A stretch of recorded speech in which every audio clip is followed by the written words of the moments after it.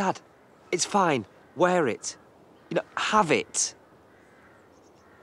You've asked me to wish you luck five times. It's not even till tomorrow.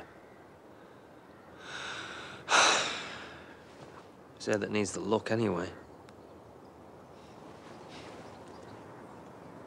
We never did get enough time, me and you. Always an interruption.